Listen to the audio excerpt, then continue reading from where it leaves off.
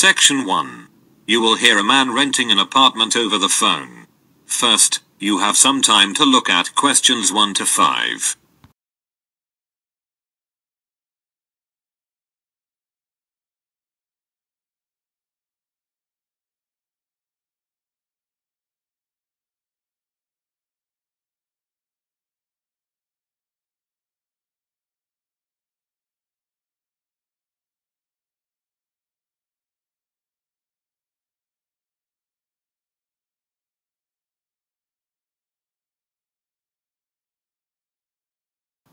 You can see that there is an example that has been done for you.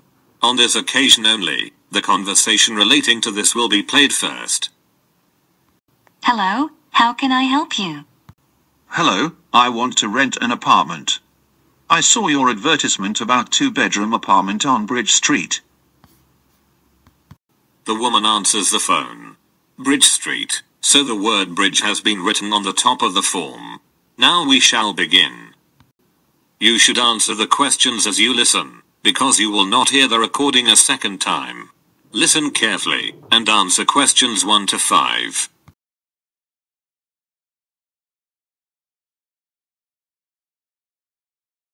Hello, how can I help you? Hello, I want to rent an apartment.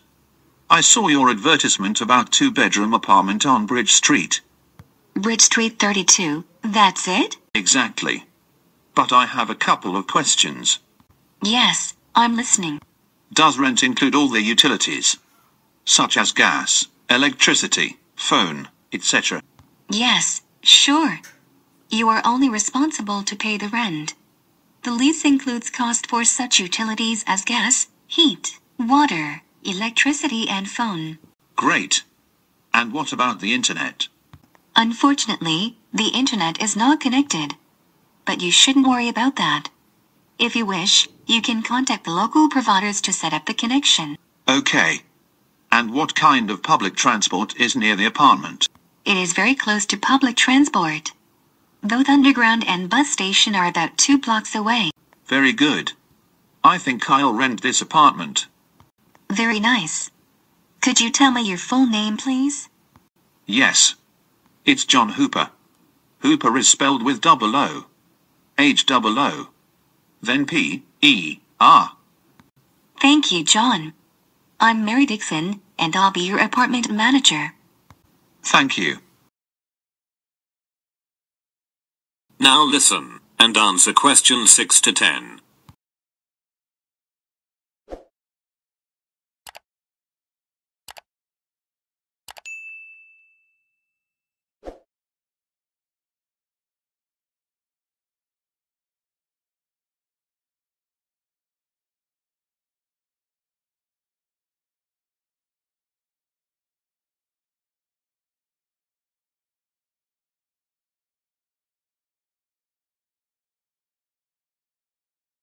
Now, we need to meet to sign a lease agreement. Okay. What documents should I bring? First of all, we require proof of your identity. Then, I can bring my driving license. I'm sorry, but driving licenses are not accepted. Could you bring your passport? Yes, sure. And do you require a tax bill? No, we're not requiring any bills. But you need to present your current employment contract. No problem, I have it. Anything else? Yes, we also need a reference from a friend or colleague, confirming your character. Okay. And what about a reference from an employer? We used to ask tenants for this reference a few years ago. But now we don't need it anymore. As well as your recent payslips, they are not required. Very good. I think I have all the documents. Is it possible to meet you today? Yes. Is 5.30 p.m. convenient for you? Unfortunately, I'm busy until 6 p.m. Then we can meet at 6.30 p.m. Yes, 6.30 is very good for me. I'll be at your office by that time. I think it's better to meet directly at your future apartment, because we'll anyway make a visit. Oh, you're right. See you soon. Thank you. See you soon. That is the end of section 1. You now have half a minute to check your answers.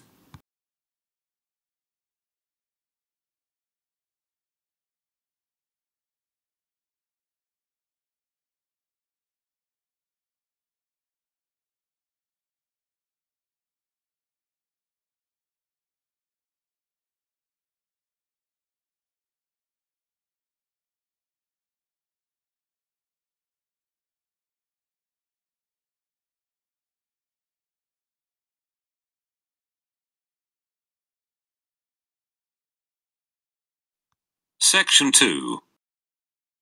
You will hear the information about tickets to one of the royal palaces in London.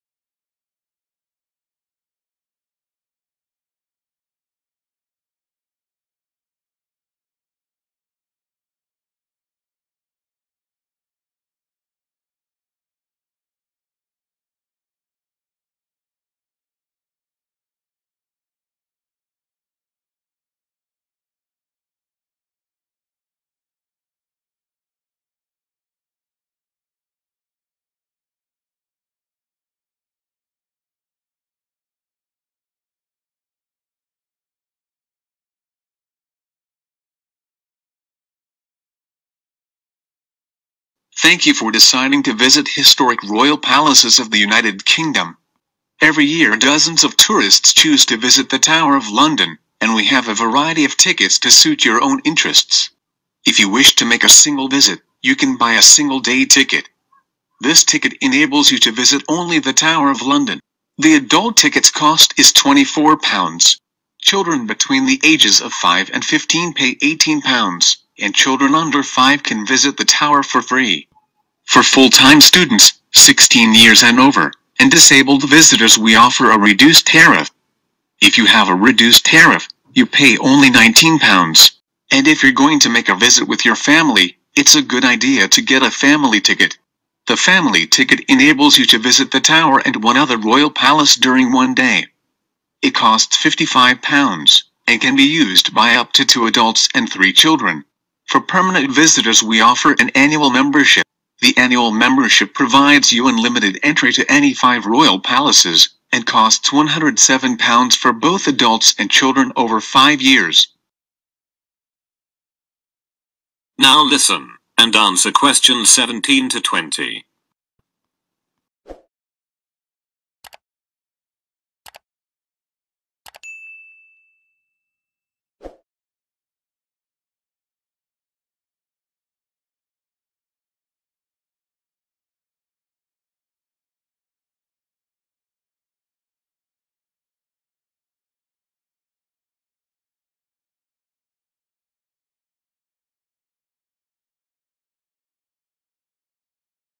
If you can't wait to visit these famous historical places, and have already chosen your ticket type, then it's time to order tickets. The first and the easiest way is to buy your tickets online. To do this, you should visit our site and select a date, then make a payment. Make sure that after the payment is completed, you receive a confirmation email of your booking. The second way is to book your tickets by telephone. However, you have to pay an additional fee when ordering tickets over the phone. Plus, telephone bookings are not available during the weekends and holidays. So this option is not very convenient. And if you don't want to plan your visit in advance, there is a third option for you. You can simply purchase the tickets in person on the day of your visit. There are plenty of ticket kiosks near the Tower of London and other royal palaces. I hope that you'll enjoy your visit. That is the end of section 2. You now have half a minute to check your answers.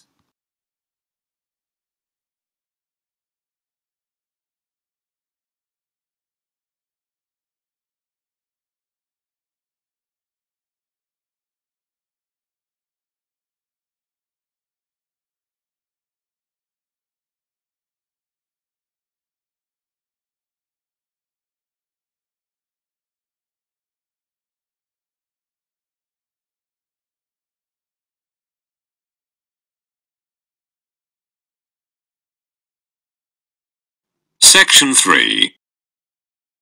You will hear two students discussing their new course. First, you have some time to look at questions 21 to 23.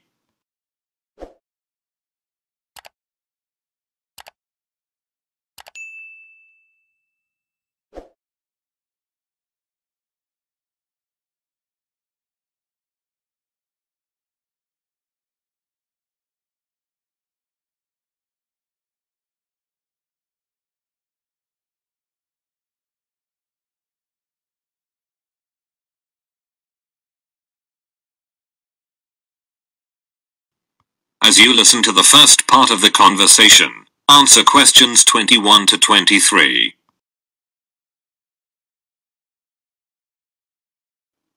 Hi, Kate. How did you like the first lecture? Hi, Julie. You mean that lecture about brand identity? Exactly. When our professor described how brand names are created.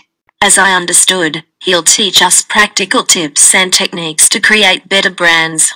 And what about course duration? I heard it's five weeks. No, five weeks is without the final project. The total duration is seven weeks. Oh, I forgot about it. It's the first time I'll be doing a group project. And I'm a bit nervous to work in a five people team. I think it's going to be okay. He was talking about the right marketing strategy. Did you hear that? Yes, that was the most exciting part of the presentation. The key thing is to grab people's attention. That's true. Now listen, and answer questions 24 to 30.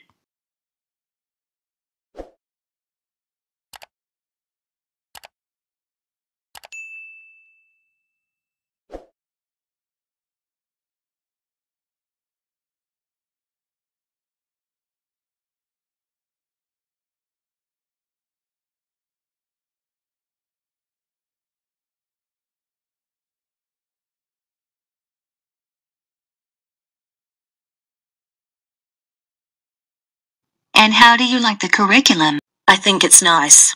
It's great that we'll be learning marketing in detail, as I've always been interested in this subject. Me too.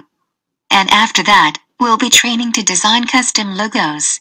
The professor told that the curriculum has been modified, and we won't learn design this year. What a pity. The same with product management. But you shouldn't worry, they just combined these two sections into a larger one called branding. Then it's good. Moreover, they've added something called e-commerce this year. It's a great alteration, and the course is kept up to date. Online trading is so popular now. And after that, we'll learn advertising. Yes, and also analytics. Really?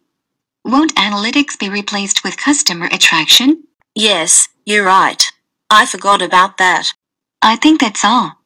The professor also teaches a course called Business Strategies. So, we may take his other course next year. Dear. And where is the next lecture? It's in the big classroom on the ground floor. Thanks. You're welcome. Don't forget to take your last week assignment. Okay. Goodbye. Bye. That is the end of section 3. You now have half a minute to check your answers.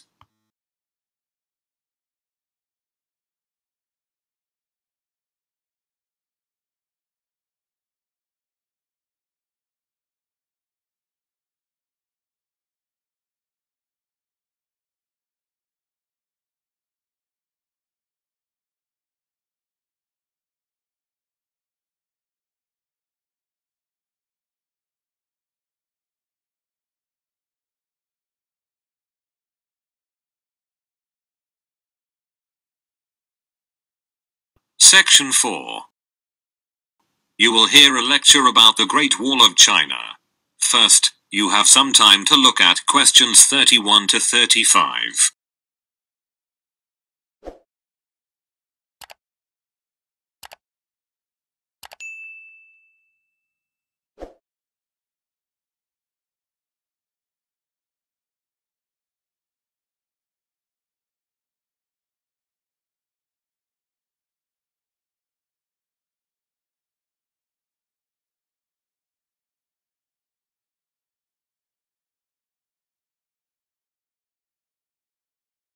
Now listen carefully, and answer questions 31 to 35.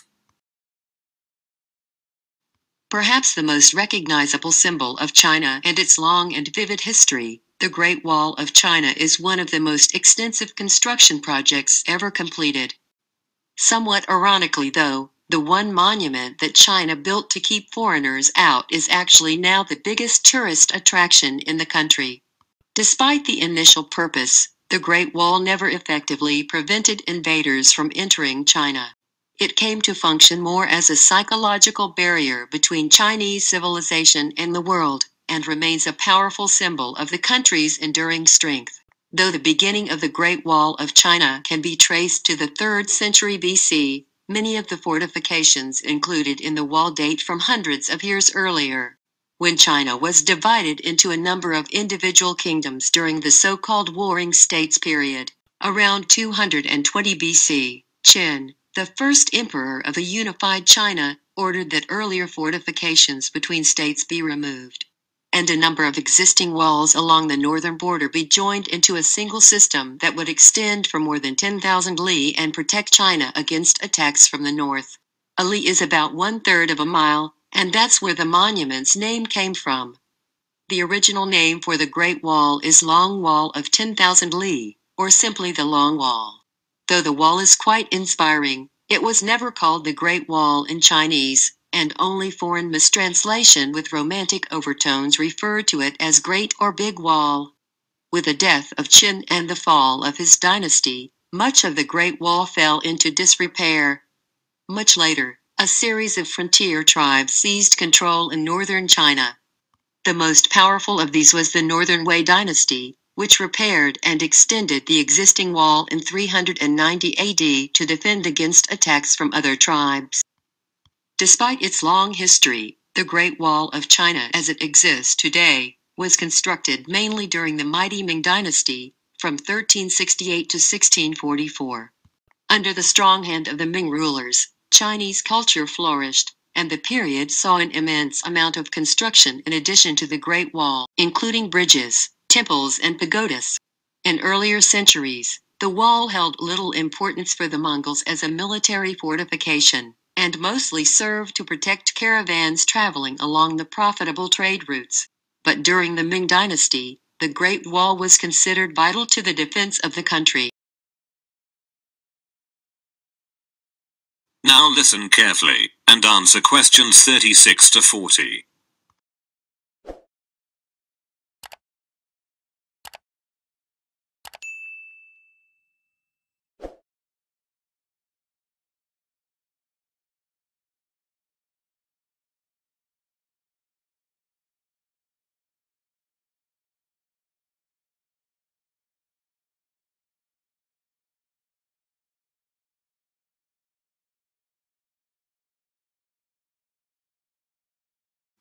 Before the use of bricks, the Great Wall was mainly built from stones, wood, and rammed earth.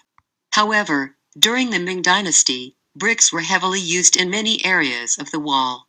The size and weight of the bricks made them easier to work with than earth and stone, so construction quickened. Additionally, bricks could bear more weight and endure better than earth and wood. But many western sections of the wall are constructed from mud, and thus are more susceptible to erosion. That's why in many locations the Great Wall is in disrepair. A report by the State Administration of Cultural Heritage states that almost fifth of the wall has totally vanished. In places, the height of the wall has been reduced from more than 5 meters to less than 2 meters. And more than 60 kilometers of the wall in Gansu province may disappear in the next 20 years, due to frequent sandstorms. However, the state does its best to preserve and extensively renovate the Chinese wall, which makes a considerable figure upon the terrestrial globe. Due to its imposing sizes, the wall is often believed to be visible from the moon. But it's only a rumor. The width of the Great Wall, viewed from the moon, is about the same as that of a human hair, viewed from two miles away. In other words, to see the wall from the moon would require superhuman eyesight. Today, the monument attracts thousands of national and foreign tourists every day. In 1987, UNESCO designated the Great Wall a World Heritage Site. And now the Great Wall is generally recognized as one of the most impressive architectural feats in history. That is the end of section 4. You now have half a minute to check your answers.